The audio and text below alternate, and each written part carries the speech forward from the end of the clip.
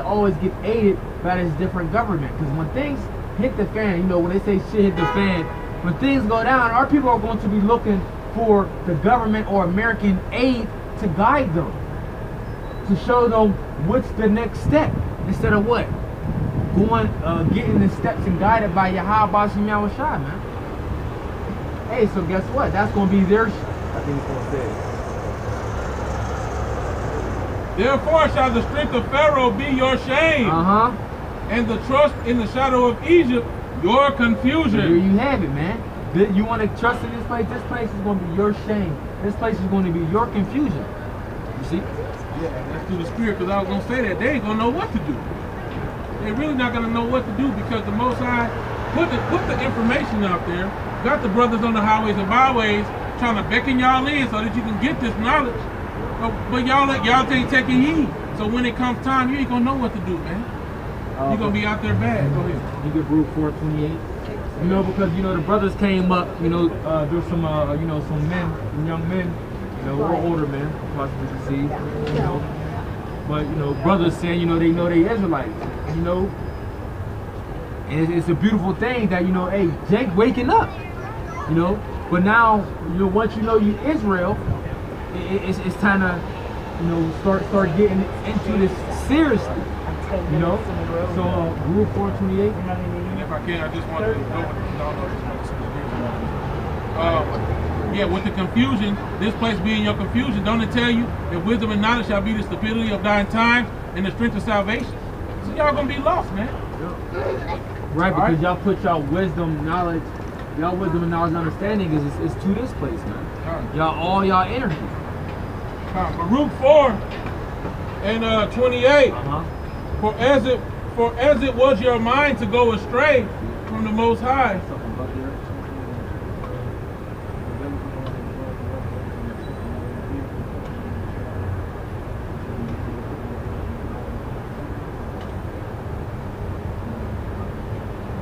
Well, you can hit the point. Baruch 4 and 28. Right. For as it was your mind to go astray Right, from so- the Most High, So as it was our people, as our mind, because it was us as a whole, for real, you know. Uh, us as a well, we got dealt with, we got punished as a whole. There was still some men that was doing the work of the Lord, but the Lord deals with nations. So when a nation goes off, He punishes the whole nation. He doesn't just single it out. for as it was your mind to go astray from the Most Right, High, so our people's mind went astray from the Most High.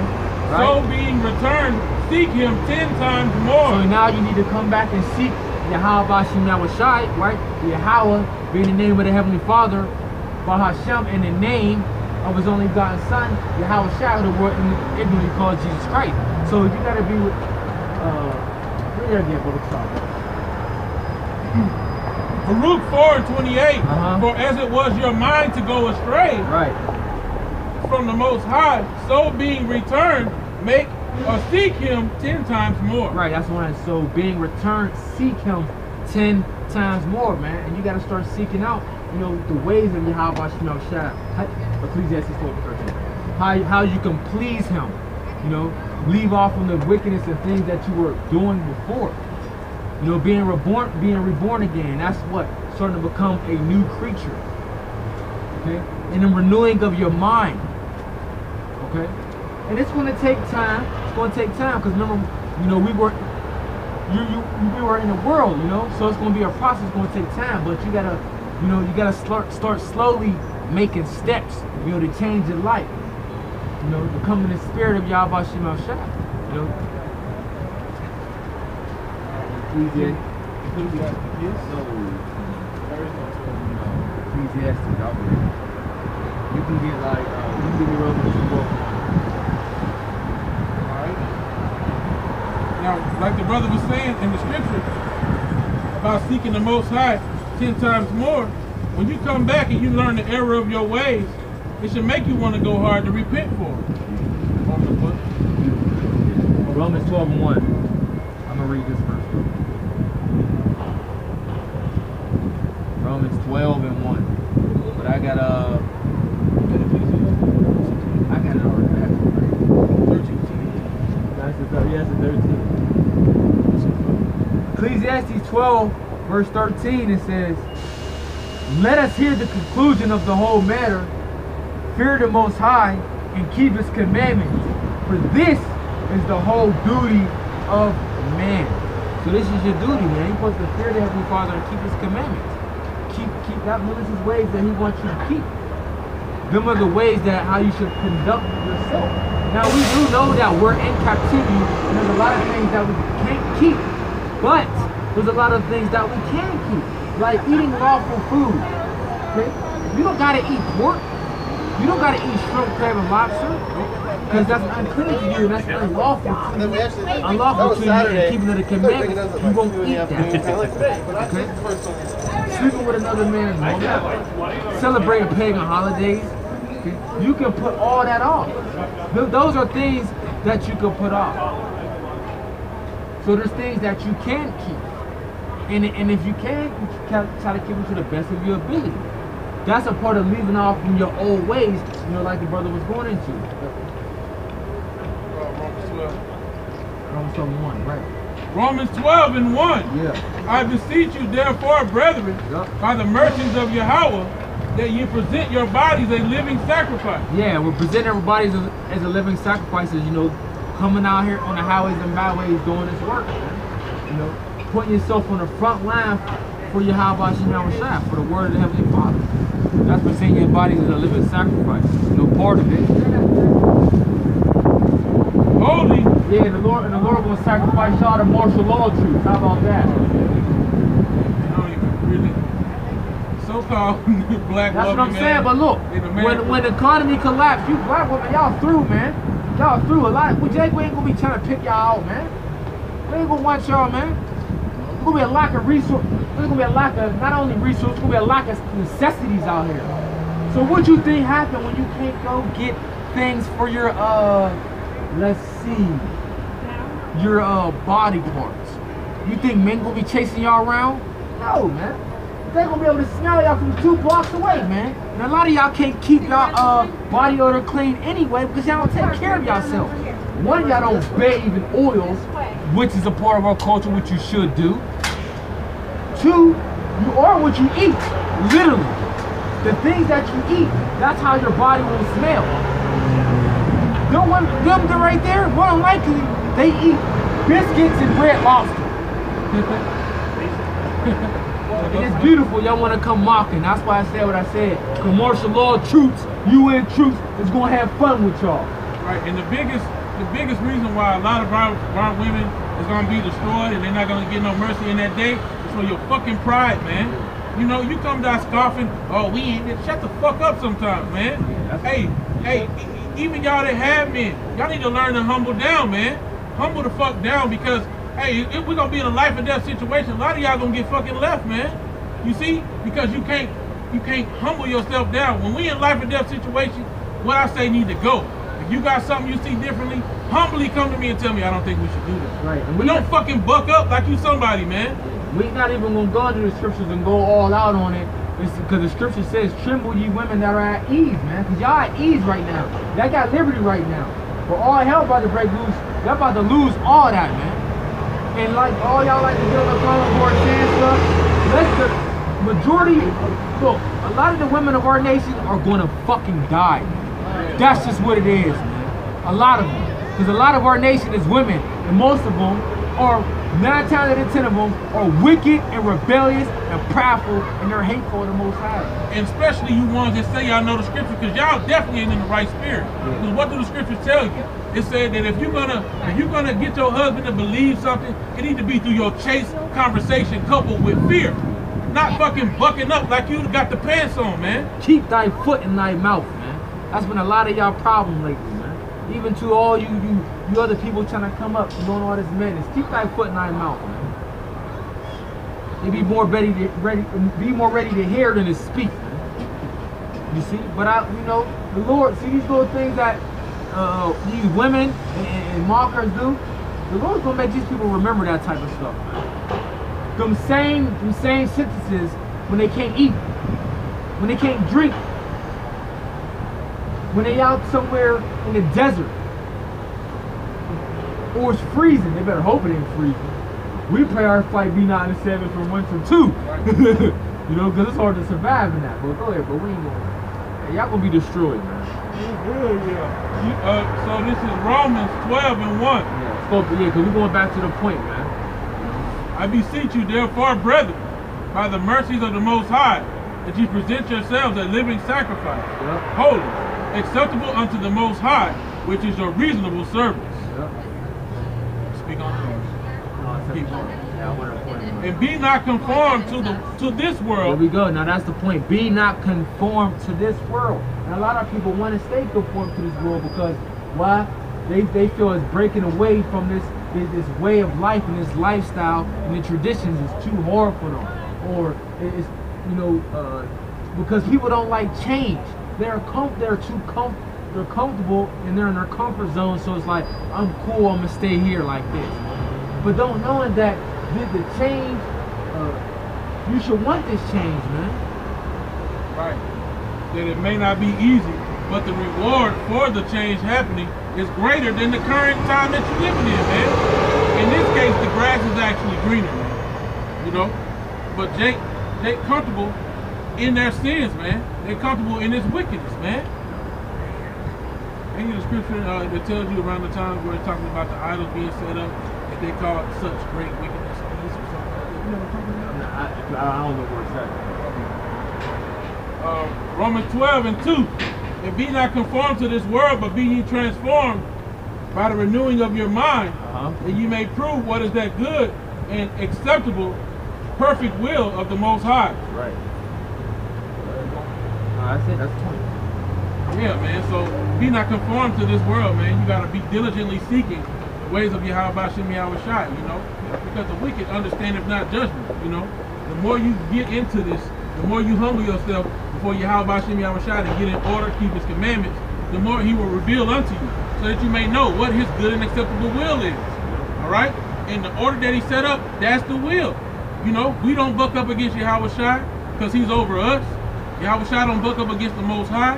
And you women ain't supposed to buck up over the men because we are your heads. Not just like your children ain't supposed to buck up against you. Right. Or both of the parents. Come. I so I got Ephesians 4, verse 18. It says,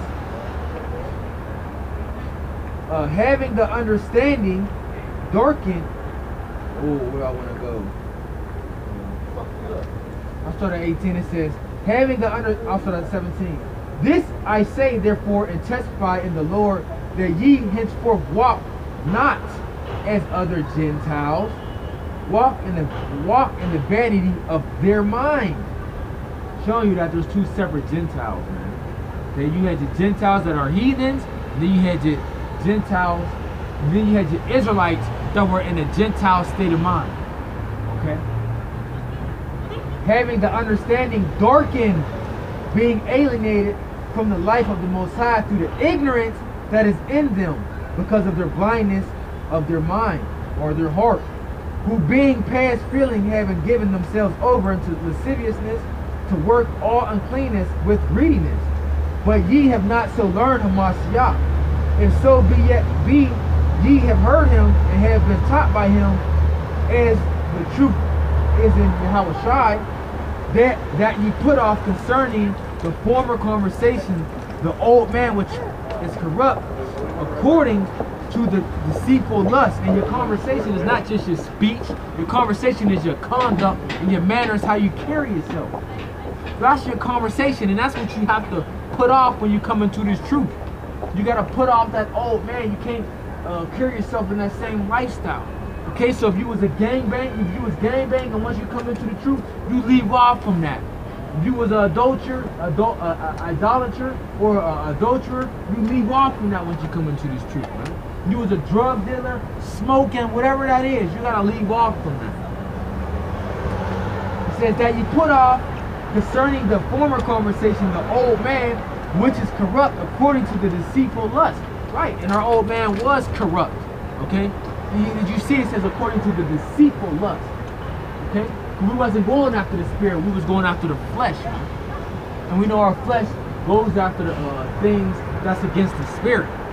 Christmas. says, and be renewed in the spirit of your mind, and that you put off that new and that ye sloth, that ye put on that new man, which after the Most High is created in righteousness and true holiness. So that's what you gotta do, man. You gotta put on that new man, but you gotta leave off from that old. You know, and like I said before, it's a process, but it's a change that you have to make. It's a change that you should be willing to make.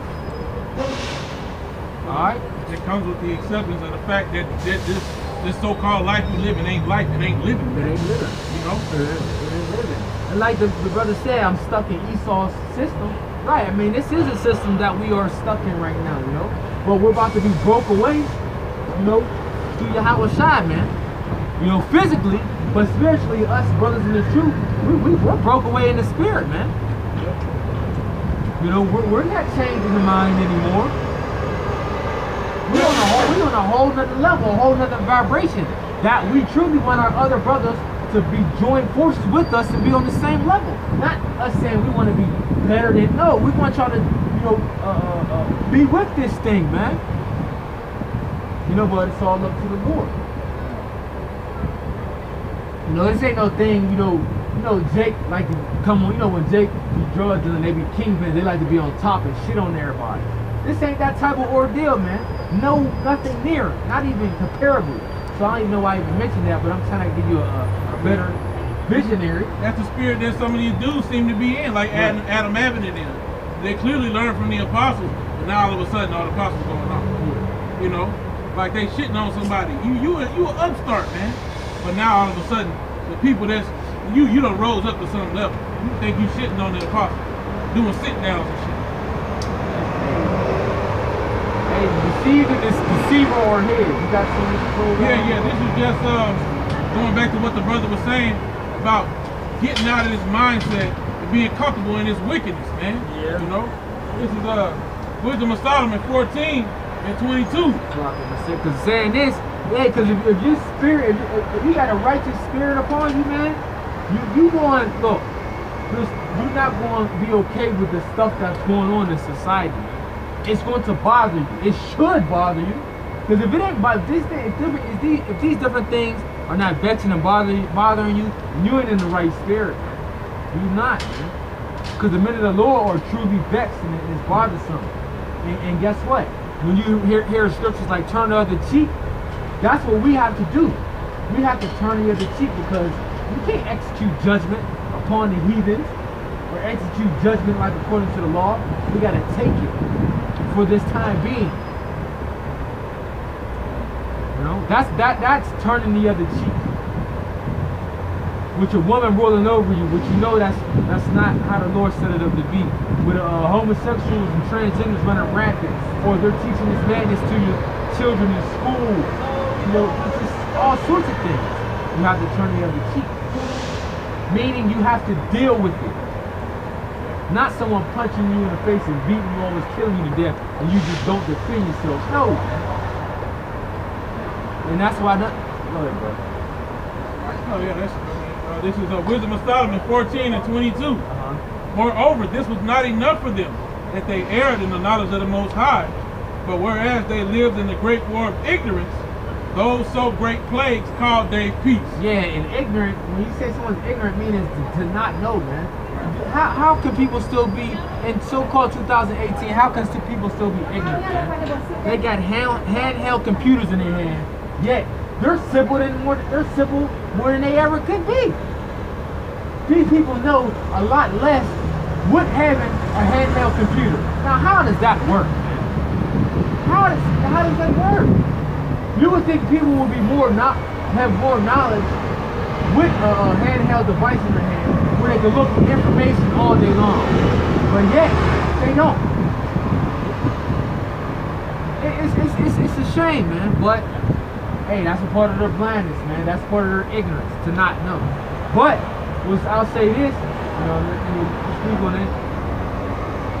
Y'all ain't, gonna, be ignorant of the Most High, man. Y'all might be ignorant of His ways and different things, but y'all ain't gonna be ignorant because at the time you're not gonna be able to say you're ignorant or you didn't know, or when the time comes, when the time when the Lord comes back, because gonna say, hey, I had not been on the streets, I have not been all over YouTube, I have not been on these social sites. You what? What? What's the problem with you? Why? Why didn't you take it? I gotta say is my people perish for lack of knowledge. Scripture saying, my people are Hosea uh, uh, four six. My people are destroyed for the lack of knowledge. But, hey, that's, hey man, that's, that's basically what it comes down to. You know? They cannot say they did not know, man.